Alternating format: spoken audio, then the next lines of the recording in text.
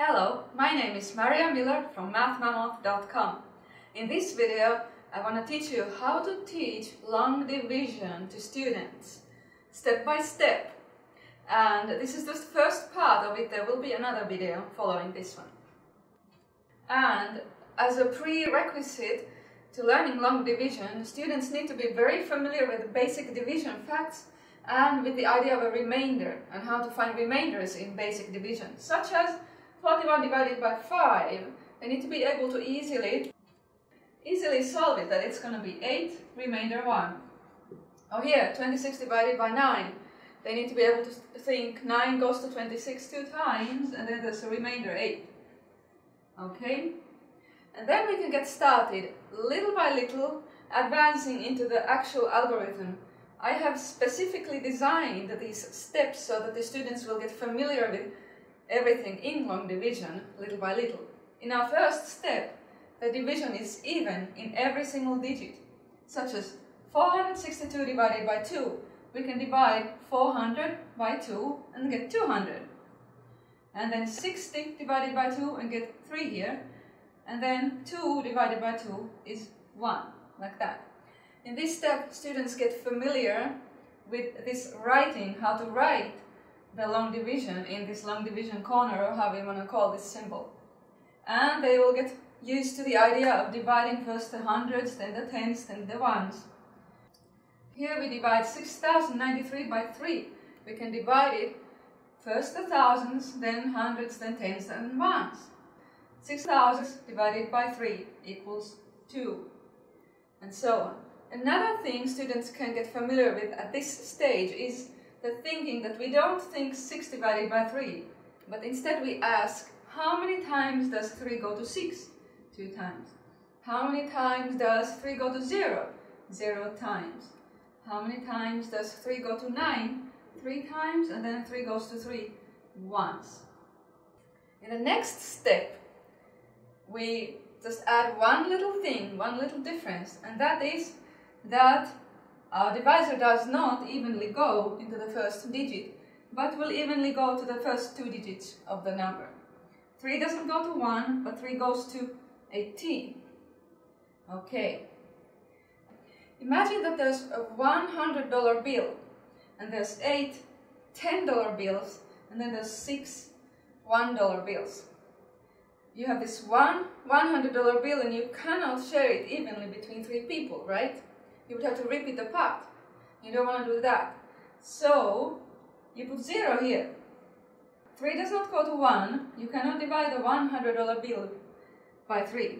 Instead, you will go exchange it so that you get 10 $10 bills in its stead. And then you have 10 $10 bills and 8 $10 bills, or a total of 18 $10 bills. I'm gonna underline it. You are gonna think of 18 $10 bills, and them you can divide evenly. Think 3 goes to 18 six times. And then lastly, we have the 6 $1 bills, and that goes evenly. 3 goes to 6 two times. Here, similarly, you would have 200 two $100 bills and five people sharing them. You cannot do that. So you put zero here. Then you go exchange those $100 bills to 20 $10 bills. And you already have five $10 bills. A total of 25 $10 bills. And now, think 5 goes to 25 5 times.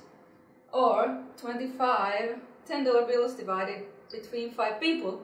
Each person gets 5 $10 bills. It goes into tens place. And then 5 goes to 5 one time. In the next step, we have a similar situation except the division is not even in the ones digit. We will have a remainder. Let's look at it. First of all, 2 would go to 4 two times, or we have 4 hundreds divided by 2, and we get 2 hundreds. In the tens, it is even. 6 tens divided by 2 is 3, or think 2 goes to 6 three times. And then lastly, 2 goes to 5, not evenly, but 2 goes to 5 two times, right? And there is a remainder of 1. There's 1 left over, and I can write it here. My answer therefore is 232 remainder 1. Or, if I have 499 divided by 7, here is a situation where 7 does not go to 4 any times. But I will combine this 400 with the 9 tenths and get 49 tenths. And 7 goes to 49 7 times. There's going to be seven tens here. Then 7 goes to 9 just once, and there's a remainder 2. And I'll write the remainder here. We get 71 remainder 2. Students are used to writing the remainder right after the answer, so we'll let them write it here in this step. But in the next step, we will then learn to find the remainder by subtracting. First of all, we have the situation where 6 doesn't go to 3 any times, but then we combine the 300s and 0 tens to make 30 tens. Just like I was talking earlier, where you have $300 bills and you go exchange them for $10 bills, and now you would have 30 $10 bills. So 6 goes to 30 five times. And then 6 goes to 8 once, right? But now, instead of writing the remainder here, remainder 2, we will multiply and subtract to find the remainder, like this. 1 times 6 is 6, write 6 here, and subtract 8 minus 6 equals 2. And this is the remainder, and we will leave it there. Okay? So in this step, all students are doing is practicing finding the remainder by this method of multiply and subtract. And the remainder is only in the ones, it is not in the tens or hundreds, so that students can understand it better. Here, 4 does not go to 3. But I will combine my 3000s with the 200s and get 32 hundredths. And 4 goes to 32 8 times. Now I can divide evenly. 4 goes to 4 once, the tens went evenly. Then in the ones, it's not an even division. 4 goes to 9 two times. Now I subtract 2 times 4 is 8. And subtract to find my remainder. Remainder 1. And after students have mastered all this up to this point, now we will finally come to the actual long division algorithm, starting with two-digit numbers first. Now they will see the algorithm in its fullness, where we will have a remainder in the tens too. Okay? So here, 3 does not go evenly to 7, but it does go to 7, so I'm not going to put 0 here.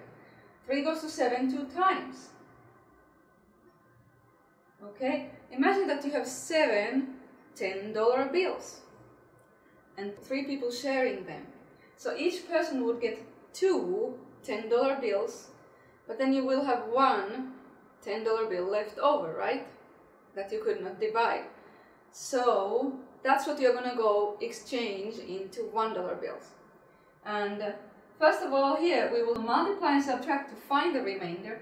2 times 3 is 6. And then we subtract 7 minus 6. And here's our remainder 10. 1 10, that is a remainder. It is in the tens column, okay? And this is my one $10 bill that couldn't be shared evenly, so I go exchange it into 10 $1 bills. And so I have 10 $1 bills, and here's two $1 bills. So I want to combine these two, right? To get 12. And this is called dropping down the digit, right? This 2 is dropped down here. What it means is we just add the 2 to the 10, so that we have 12 here. Now we continue our division with the 12. 3 goes to 12 evenly 4 times. And now we're basically done, because we are done with the last digit from here, and it went evenly. But it is customary to multiply at this step. 4 times 3 equals 12, and subtract 12 minus 12 to get 0. 0 as our remainder. Another example. 5 goes to 6. One time. One here. 1 times 5, multiply, write it here, and then subtract 6 minus 5 is 1. And what this step has meant is that you have six $10 bills. Five people are sharing them evenly, so each person gets one $10 bill. And then we multiply 1 times 5 is 5 and subtract to find out, okay, we're going to have one $10 bill left over that we could not divide. And now somebody goes and exchanges that to 10 $1 bills. And then we will combine that with those five $1 bills. We will add them. The 10 and 5 are added. It looks like I dropped down the digit, okay? So I have 15 $1 bills, and I divide now them between 5 people, and I get 3. Or 5 goes to 15 three times. And now it is customary, even though it is actually with all down basically, it's customary to go 3 times 5, 15, and subtract to make sure our remainder is 0. And one last example. 6 goes to 9 one time. And then 1 times 6. We multiply and subtract. We get 3 tens here. And the 3 tens are combined with the 0 ones, which, okay, we have now 30 ones. And 6 goes to 30 5 times. Evenly, 5 times 6 is 30, and subtract to find your remainder, 0. In these examples, the same exact thing happens except there's going to be a remainder here in the ones. It's not totally even. We just do 4 goes to 7 one time. 1 times 4 is 4. Then subtract to find the remainder in the tens. 3 tens are the remainder here, and we add the 5 ones to it. And now we think 4 goes to 35 8 times. 8 times 4, 32. And subtract, and 3 is a remainder. The answer is 18, remainder 3. And here, 3 goes to 5 one time. 1 times 3 we multiply. Then we subtract. We have two tens as a remainder here. We combine that with the 8 ones to get 28 ones. 3 goes to 28. 9 times. 9 times 3 is 27. I'm 27. And subtract to find the remainder of 1. Okay, in my next video we will go on with this topic to more complex situations of long division with 3 digits, 4 digits and with money.